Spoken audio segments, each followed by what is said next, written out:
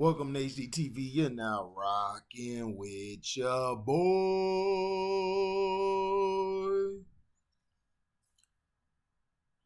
A 25 year old woman is suing Dallas Cowboys owner Jerry Jones, alleging that the billionaire.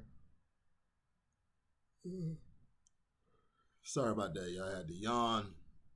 Alleging that the billionaire paid her another hundreds of thousands of dollars in 1996 to conceal that he was the girl's biological father, a secret that the lawsuit says she has carried her entire life.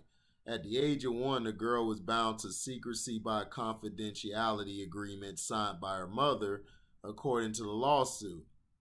Jones denied in settlement documents that he was the biological father of the child, but he paid the woman 375,000 in exchange for confidentiality and had an Arkansas friend and lawyer named Donald Jack set up two trusts for the girl linked to her and her mother, keeping Jones' paternity a secret, according to the lawsuit, a copy of which was obtained by Esmond.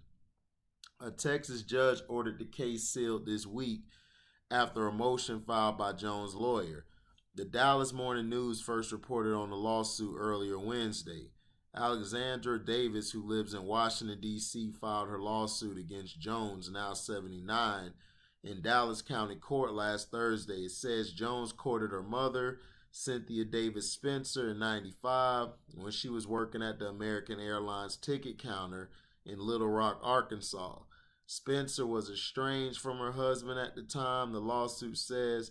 Alexandra Davis has lived her life fatherless and in secret and feared that if she should tell anyone who her father was, she and her mother would lose financial support or worse. The lawsuit alleges plaintiff has had to endure the endless public profiles of her father and siblings while forced to remain secret to everyone, including her closest confidants, it says. Jones and his wife Gene have three children Stephen, Jerry Jr., and Charlotte Jones Anderson. Jim Wilkinson, the spokesman for Jones, declined to comment. Davis Dallas based attorney Andrew Bergman also declined to comment. Davis has asked the court to be recognized as Jones' daughter and to be released from the confidentiality agreement that her mother agreed to when she was a baby. It is hard to imagine what could be less in the best interest of a child than to enforce agreements that leave a child without a father and which prevent or legally punish a child from even stating her stating who her father is. The lawsuit says. The lawsuit alleges that Jones abandoned and shunned Davis and forced her to live in secrecy after her birth in Little Rock on December 16, 1996. The combined effects of the aforementioned agreements and Cynthia's divorce proceedings resulted in plaintiff never having a legal father. The lawsuit says to add incredible insult to injury, plaintiff has had to spend her entire life hiding and concealing who her real father is. Defendant Jones' only role in plaintiff's life to date, other than to shun her, has been to coerce her from ever disclosing his identity. Despite that, the lawsuit says that Davis has excelled academically and professionally. She now works as an aide to U.S. Representative Ronny Jackson, who's a Republican out of Texas. After working for 14 months in the White House during Trump's presidency, after Davis' birth, Davis Spencer and Jones worked together to conceal his paternity, the lawsuit says. Faced with the literally existent the literal existence of plaintiff and the public and personal ramifications that will result therefrom, defendant Jones, forever the deal making entrepreneur that he is, decided to do what he always does make a deal to assure that he would not be publicly or privately identified and or declared as plaintiff's father the lawsuit says. Davis spencer was going through a divorce at the time the lawsuit alleges. Defendant jones with the help of lawyers knowing that cynthia was now a single mother with a very young child and an uncertain financial future at best set out to negotiate a settlement that would exchange money for silence or we like to call it hush money, the lawsuit says. Jones is alleged to have set up two trusts that the lawsuit alleges contain the hush money payment and the hush money terms, including $375,000 paid to Davis Spencer. Jones agreed to provide through indirect means and with his personal identity hidden ongoing financial support for Cynthia and plaintiffs so long as Cynthia remains silent about the fact that he was plaintiff's father. The lawsuit alleges if Cynthia failed to maintain such silence, the support would end at defendant Jones' discretion and Cynthia would supposedly be in breach of the deal. The lawsuit was posted on the Dallas County Courts website Monday and thus available to hundreds of Texas lawyers and excuse me, and other members of the public. The team discovered it late Monday and on Tuesday went into court and persuaded a judge to place Davis' lawsuit temporarily under seal, pending a March 31st hearing. Last month, ESPN reported that the Cowboys paid a $2.4 million confidential settlement with four members of their cheerleading squad who accused the now former team executive of voyeurism in their locker room in September 2015. According to a 2016 settlement agreement and non disclosure agreement, the cheerleaders accused Richard Dalrymple of using his security key card to enter the back door of their locked dressing room during an event at AT&T Stadium. One of the women alleged she clearly saw Dalrymple standing behind a partial wall with his iPhone iPhone extending toward them as they were changing their clothes. In a second allegation, a Cowboys fan who was watching a live stream from the team's war room during the 2015 NFL draft swore in an uh, affidavit that he saw Dalrymple take upskirt photos of Charlotte Jones Anderson. Dalrymple, who retired February 2nd,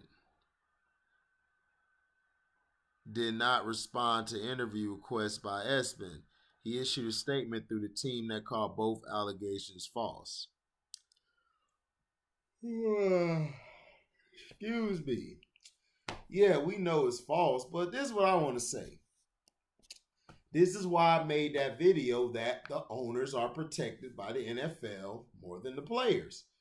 Like, on, like if this was a player who did this, if this was a player who did this, a player who was um who who who had all of this concocted, he would be dragged through the mud. He would be called a liar. He would have been called all these things. But see, since it's the owner, nobody cares, right? And see, this is why I blame the fan dumbs, all the fans. We have all these crooked owners in the league, but yet nobody wants to call it out when it's time to call them out. Jerry Jones has been a scumbag forever. Always been always been a guy who's messed with multiple women. He's always been caught with multiple women. He got caught. A chick took a photo with her and her friend with Jerry Jones, and you easily could see Jerry Jones was intoxicated.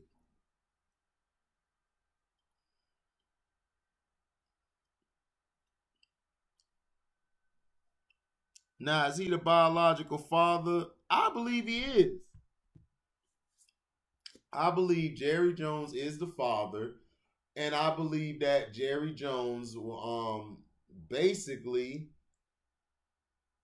paid that money to have it hidden so it doesn't mess him up. Because look, even with the Michael Jordan situation, and all this stuff is allegedly, by the way, and this is the Fair Use Act, so even when Michael Jordan was, you know, caught, he paid that one time to the chick and he moved on from it, knowing that wasn't his child.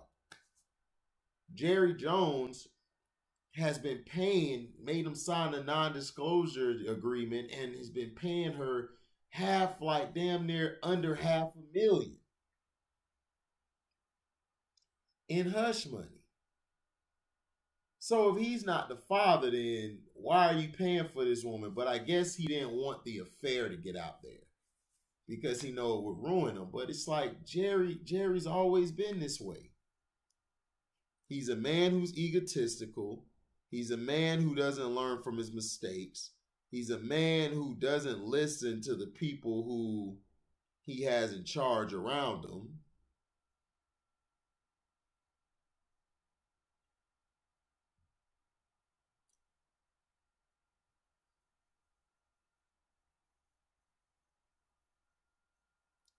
You know, it it's always this type of crap that pisses me off because the owners is okay for them to do whatever they want, but the players get treated like crap and continuously get treated like crap.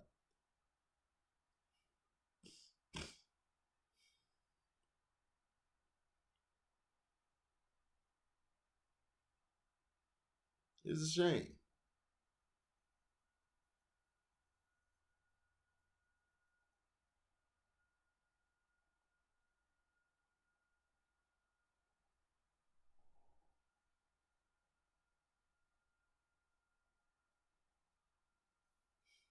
So, you know, let me know what you guys think, man. Um, do y'all think Jerry Jones did it or don't you? And do you feel like the owners get way more protection than the players? Also,